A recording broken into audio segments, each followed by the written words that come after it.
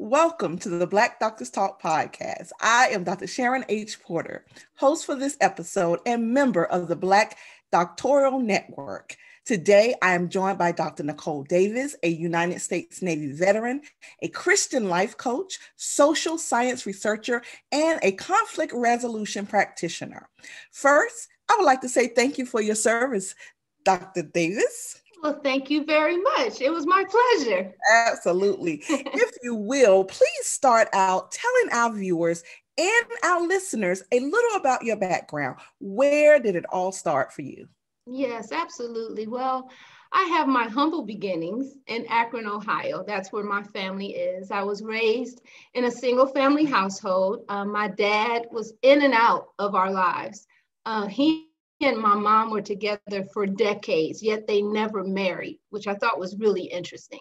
Uh, I'm the oldest of three girls. I actually went to the military straight out of high school. I saw it as my way to be able to travel and to go to college because college just wasn't an option straight out of high school. There were no funds for anything like that. So thank God for the military, which has made the difference in so many people's lives. But that's actually another conversation. So I went to the military and uh, I was able to travel like I wanted to. And uh, during those travels, when I found myself in Iceland, Keflavik, Iceland, I was able to start schooling. Um, the University of Maryland had a European division there, and my husband, not at the time, but he, we worked together, we were co workers. He helped me get started with college courses. So we eventually got married and we started our family in Spain. That was our next duty, space, duty station. We went to Spain. And once he was done with his tour, we moved to Maryland, which is his hometown. Uh, and we've been here ever since. So that was 1994. And we've uh, since had another son. We have two adult sons. Uh, one is in Pittsburgh. He works for the Department of Justice. And then our younger son, he is currently in law school studying entertainment law. Wow, such a rich background. I love it. Thank you for mm, sharing. Yes. So, you have had 20 years of experience in the field of alternative dispute resolution. Mm-hmm. One of the common forms of ADR is mediation.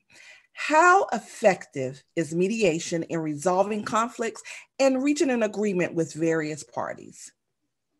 Okay, so that's really a two part answer. First of all, mediation in and of itself is absolutely amazing. It's the mediators who give the participants either a wonderful experience or a not so wonderful experience reaching an agreement, if that's the ultimate goal of the mediator, then you can actually hurt the parties. Because when you're agreement focused, you're more transactional in your approach.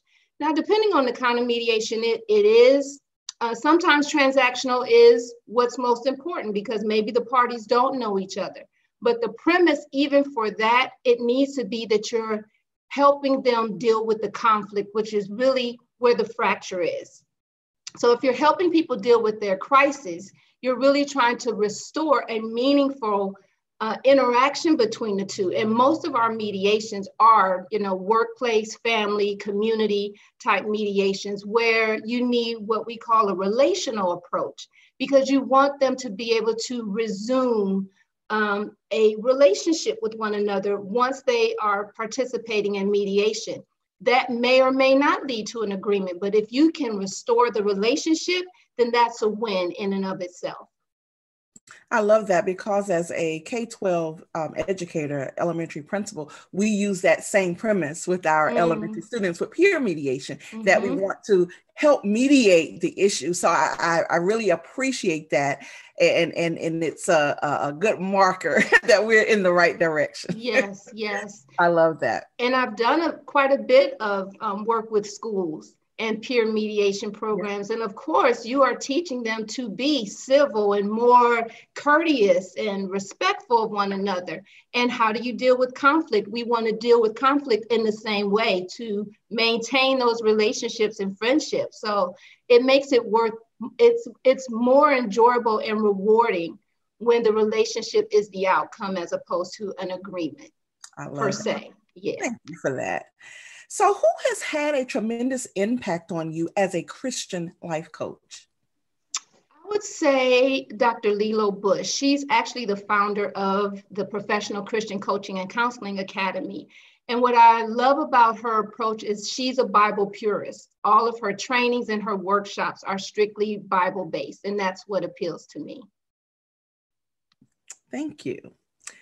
What's the best advice you've ever received and the best advice you've given? Okay, so just a little backstory so that it all comes together. Uh, our children's godparents, the godmother in particular, uh, this was when our sons were in elementary school. And one of the things that was really important to me was to be a stay at home mom. Once I was in the military and we started our family, that was one of the reasons we got out because I didn't want to travel all over with them. I wanted them to have a stable home, they could develop relationships with friends. And so making that choice to be a stay-at-home mom was financially very difficult for us as a family because I was, you know, I had my bachelor's degree by then. Um, we were living in our own home, but it was hard to, to meet all of our bills. And I remember one day I was talking to her about the contemplation of going back to work. And she said to me, she said, Nicole, she said, parenting done right is hard work, and you get one chance to parent your children. You will get multiple chances to make money. So focus on what's most important to you right now. And I never forgot that. In fact, I do give that as advice. But the other thing that I also say to people is two things have a standard. And then when you're making decisions, no matter what it's about, always consider at what cost are you going to do whatever it is that you're contemplating. So that's what I would say for um, some fantastic advice given and received. I love that. Yes, it really aligns because I always say for every yes, there's a no. Yes. and that's exactly what you're saying. There is a cause for your yes. Yes, so- and I I remember um, because for us, and we'll talk about it more as we go along, family is everything. And I've watched and experienced being on the back end of a bad decision by a parent that ultimately impacts a child in a way that the parent can never fully understand the ramifications of. And as a result of that, I have always been very mindful and self aware. If we do this, what's going to happen or how is this going to set us back or what's going to be the impact while it may feel good and look right to us at what cost because the children may not see all these material things. That's so wonderful if it means we're always stressed or frustrated. We're always fighting. We're never home. And so looking at it from that perspective through that lens it helped us to stay very grounded in what we were pursuing as what was important to us. I love that. Thank you. Now, your dissertation topic was Women in Ministry How Conflicts Between God's Purpose and Church Doctrine Impact the Efficacy of Female Church Leaders. Very mm-hmm. powerful, by the way. Thank you. Please share your findings on this research. Okay, so the data analysis confirmed everything that we already know the existence and ongoing challenges that women face in the churches and through church organizations, it still exists. Um, whether it's gender bias, discrimination, the male domination symbolism, which is really strong and influential still. Uh, women are, are looking for ways to challenge this, this, this patriarchal culture uh, and the symbolism in the church. And uh, is still believed that women are inadequate to lead in church, even if they're leading well in the marketplace. It's as if those skills don't transfer to the church. And it doesn't matter whether the woman believes she's called, it's not important. Um, church tradition still supersedes the abilities of the leaders. You know, it doesn't matter if the woman is competent, if the man is not competent, because he is a man he's going to get that position over the woman. The needs of the congregation don't matter. Um, cultural relevance isn't important. Um, there's no support still of the or encouragement of women leaders being elevated, recognized, supported in the church. Wow. Amazing. Mm-hmm. And, and you've spoken about how important family is, and, and your why is clear. It's your family. Yes. How important is it as a relationship coach for you to demonstrate that healthy family dynamic? Well, it's, it's, it's extremely important. Um, and why it's so important is because we need to see it modeled. You know, information is prevalent. You can get a ton of information, but how to apply that information is difficult for us. Well, that's what we took our time doing, becoming what we were saying, not just um, practicing what we preach, but preach what we practice. And then that way, what we say, you know, we can show the receipts for who we are and what we've done. As a matter of fact, we didn't write our first book, Parenting Done Right is Hard Work, but is Worth It, until our boys were both gone off to college. We needed to see if everything we had taught, if they could stand independent of us without us around, making right choices, doing the right things uh, when there was no one to answer to but the Lord Himself. And so, because they were able to do that, not without hiccups and bumps, um, but their their their foundation was strong. And so that once we saw, okay, we're not going to look like hypocrites.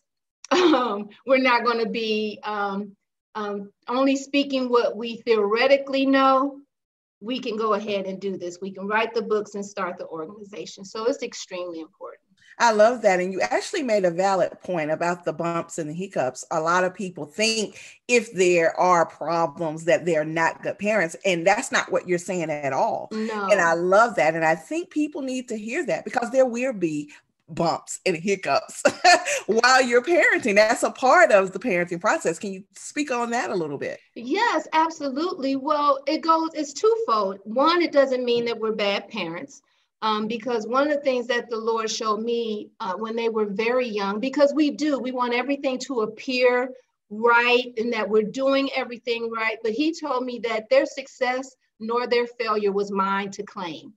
That all I could do was give them the tools, expose them to various opportunities and to live as an example before them. And then it is up to them to do and to make those same choices for themselves. And as a matter of fact, I mean, even while they were in college, we were teaching them, we didn't want them to be straight A students. That wasn't what the goal was. It was, are you well rounded? Are you considerate? Are you integral? Do you know how to form relationships with people? Are you a leader or a follower? Do you tell the truth? You know, just character type things. Though that's what we were focusing on. And if you don't know how to rebound from a failure, then we're setting you up for failure when you get out in the real world because the world is a cruel place and how we are able to weave and bob weave and bob that's where you see your strength and your ability to do that. So no we were never trying to have perfect children. We always wanted to have children who were responsive who are productive who are caring uh, and who want to live their best life, doing the best that they can. And that's all we could ever ask of them. Thank you for that. so, how do you stay abreast of all of the current trends in your field? Well, everything mainstream. I, I look at everything, you know, that other people look at, Christian and secular articles alike. Um, I'm on YouTube watching videos. I'm listening to TED Talks, podcasts other organizations that are doing the same work that we're doing or being involved with other organizations, hearing what their needs are. So anytime Tony and I are doing work together, because we do this work together, and that's the other thing.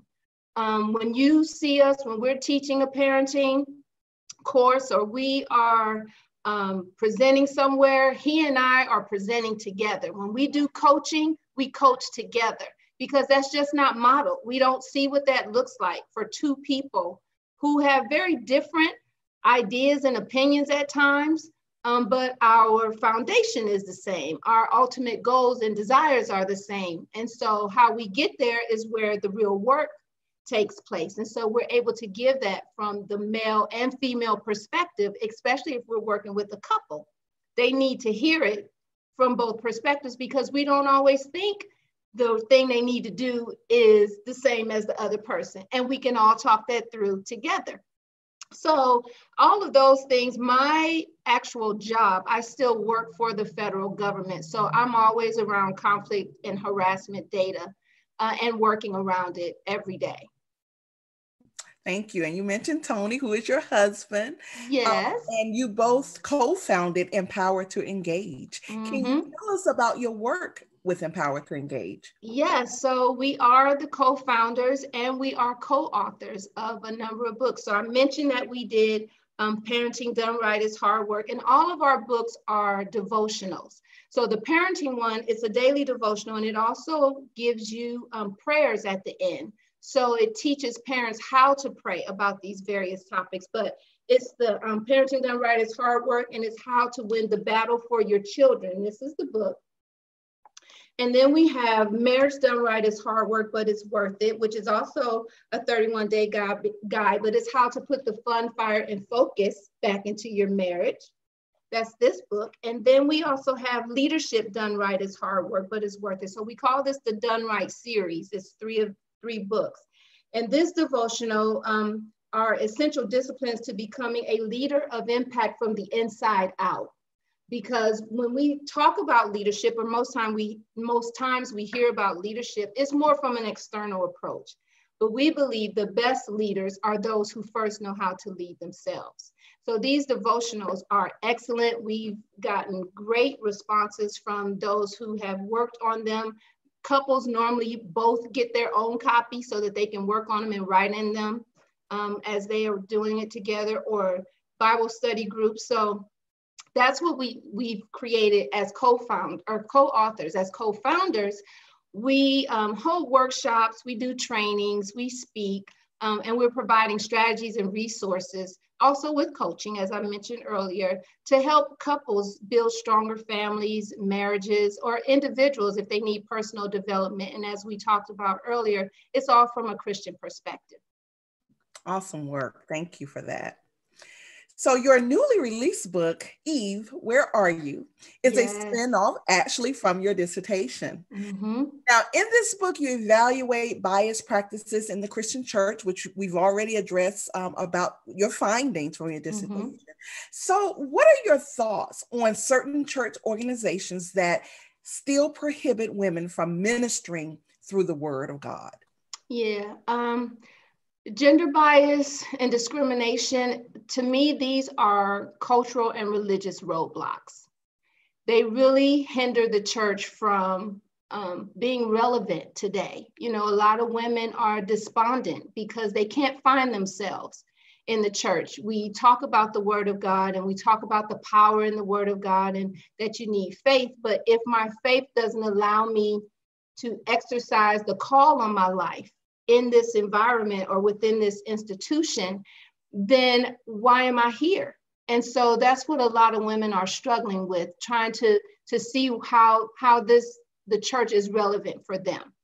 I also say that it's it's handicapping the very people who they're there to help if they're not able to, to help build this church, except for, you know, whatever jobs we say they can have as pastors and leadership if they're not allowed to help build and work in the very areas that they feel called to, um, then the level of commitment from the, the um, church attend- attendees is going to dwindle. And, and that's what we're seeing is happening.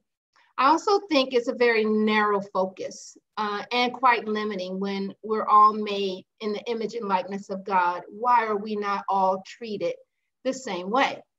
And so when you think about those things and the fact that, you know, there's power in these women who are skilled and are called, but it's untapped. How can you say you are trying to advance the kingdom when who he has made are not allowed to participate in what he de- desires for his church? Wow that's actually powerful because you know it, it is still it's still out there as you know mm-hmm. it is it is and the younger women which is quite alarming to me younger women are saying it so you know it's still being taught And if it's being taught, in, and it's not just being taught in the churches, it's at home. They're seeing it at home. And we're treating one of the things that that we found, and um, I actually have a podcast, Eve, Where Are You podcast. My husband and I are on there together, and we're talking through all the scriptures that have been used um, to defend why women are not allowed to, to have active roles in leadership in the church. But um, that's one of the things that I think is really important to note is that we've we've it's up to us. We've got to decide that we're no longer going to put up with it or we're willing to do whatever is necessary to make the changes so that everybody can play a part. Wow, thank you. You mentioned Eve, Where Are You podcast. And so I had the opportunity to listen and and episode 21, you discuss women on the front line, a mm-hmm. coronavirus discussion. You referenced the Bloomberg article that was entitled uh, Women Are Bearing the Brunt of Coronavirus Disruption. Um, it was published March 11, 2020. And that was right, at least in this area, um, in the DMV, that was right at the height of uh, the pandemic, basically. Everything began to shut down mid March. So, in your opinion, does the main idea of this article still ring true today? And we are almost at March again, 2021. Yes, yes unfortunately, it does. Uh, and it's interesting because I was looking at an article from the National Geographic, and they actually call women shock absorbers. How about that? Because our role has never changed. And no matter what you put before us, we rise. And it's the same with COVID. It, but the impact on us and on our children, because you know we're talking to a lot of school teachers, um, people are at their wits end because they have expended, they are beyond their limits and capacity. And, and you're not getting the support that you maybe normally get from the village because everybody is trying to um, protect themselves.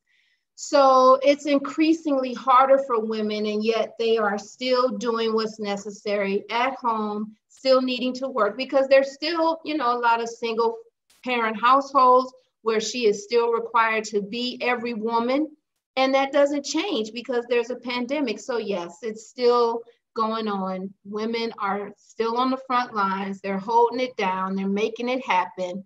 Um, and it's it's costing them you know again at what cost it's costing them and and i just my prayer and the words of encouragement that i offer is that you must take time for yourself. You've got to replenish. It's very hard to keep giving what you don't have.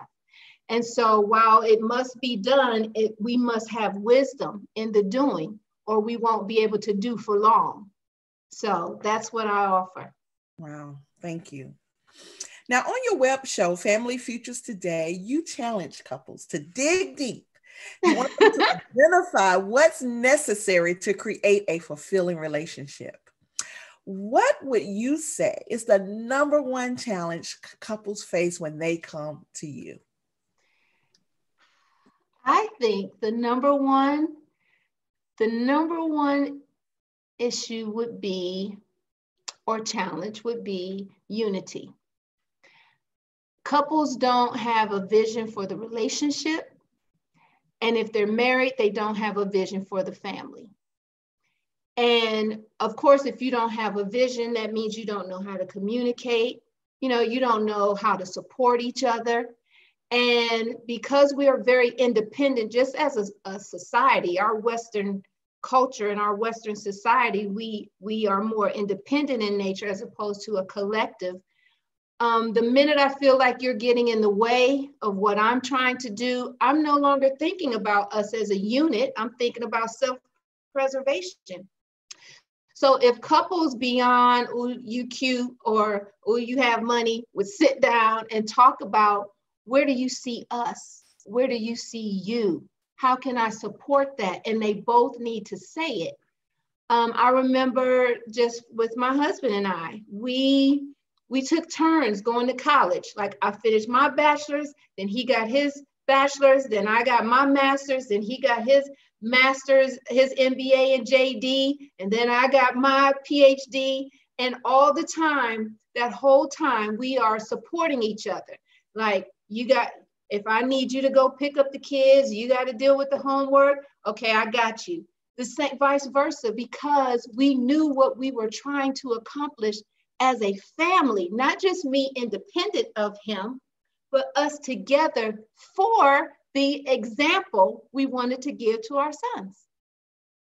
I'm gonna tell you, I absolutely love that. I've been married 18 years and I've never thought of a plan for yes. us that you yes. think strategic plan for your for your business. Come on. Oh my! It's just like a light bulb. Just yeah, yeah. I love that. I absolutely love that because I don't think, just like me sitting here, yeah. I don't think people think of that. What well, what do we want for us in five years? What I love that, Dr. Davis. Yes. no, we don't. We don't think like that. And it's the same with parenting. Like we don't know how to parent. Yes. Just because we have a child doesn't mean that we're ready or equipped, knowledgeable to do what's necessary to give this child the best possible uh, opportunity to grow and to thrive. You have to pursue that like you pursue anything else. You got to read the books, you got to go to the seminars, you got to talk to people, you got to share your challenges and your struggles. You know, just do what mom and them did because that didn't work. so you have to be intentional about your family, your parenting, your marriage, your goals, your vision, and how do we play in that together? That's why, you know, when it comes to the church and the fact that you will turn your, your back to someone who is equipped to make the difference in what we're trying to accomplish beyond what you think they can do it just is such a paralyzing, it's paralyzing. And it's so unfortunate because there's so much more that could be done when we do it together. And it's the same for couples. How many marriages can be saved if they just knew how to have these conversations and to know, you know, we're really on the same side, wanting to deal with these issues together. We're not against one another we're in partnership. And it's the same with our kids. Tony and I have always shown, we've shown the boys a united front. Like you cannot pit one of us against the other because had it not been for us, you guys would not be here. So, so we're really clear on what these dynamics need to look like for the for it to work best for all of us together.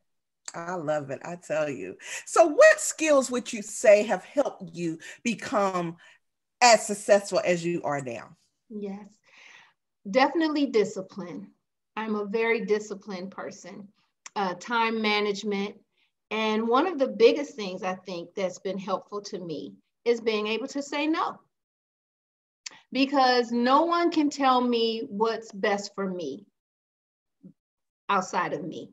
Like you can make suggestions, but I know what I'm dealing with at home. I know what my children need. And so for external forces that want my time or think I should be doing this or you're so wonderful for this and that. Okay, well, no, thank you, but no.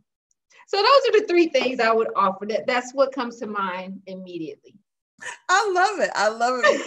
I'm telling you, because that no thing is real. That no thing, I, that's one of the things from this pandemic that I have discovered. I need to say no, no more often. Yes, it's powerful. It's powerful and exhilarating it really is a very valid point. I always say if it doesn't make me happy, make me better, make me money, I'm probably going to say no. yes. And you know what? And to think about it though, I don't, it doesn't have to necessarily make me happy because you know, we, when God is calling you to something, because mm-hmm. we don't always know what it's going to That's yield. True. It's in our obedience and in our faith that we go ahead and do that thing. That's true. But I need to know that this is what's right for me right now mm-hmm. because I've done a number of things that didn't make me happy. Mm-hmm. But I did them because they were necessary for whatever it was that that was supposed to happen next in my life. Absolutely. So it's being very um, contemplative and the at what cost. That always comes back for me um, because there are a lot of things I'm not comfortable doing that I do, Um, and there are things that I do for longer periods of time than I would like to. But I'm very, I'm trying to be very mindful. Is this what I should be doing? Or is it something else? And when I know that this is not it, the answer is swift no. I love with a smile. with a smile. Yeah, a pleasant no. I love it. I love it. So, what are you most proud of in your career? Ooh, of course, that doctorate, because that right there, oh my Lord. For a long time, I didn't see the light at the end of the tunnel, but that is probably my greatest accomplishment. And then I would say, um, seeing the fruit of my labor showing in the lives of others, like having these types of conversations and then seeing people go and implement that in their lives or coming back and telling us, you know, what they've done or how it's impacted their family or seeing um, a child be able to get into college because my husband talked to them about best choices and figuring out I did, you know, who your child is, what their strengths are, uh, whether they're natural proclivities, and then helping them put a plan together. Like those are the kind of things that bring me joy beyond what I can, because then we know we're multiplying like that, you know? So. I love it because I'm definitely creating that plan for us. I'm going to definitely implement that. So, what steps do you take to reach your goals? So, I um, I take the approach of spirit, soul, and body. Prayer every day, Bible reading every day. I keep people around me who are positive and who are driven, just like me, and who are supportive. Like that's who I need as as a buffer you know to help me because i'm not always strong. And so they can help me and encourage me during those times. And then i would say eating right and exercise. Uh, i i really respect my body. I don't just do whatever i want. I understand that this is uh, my temple.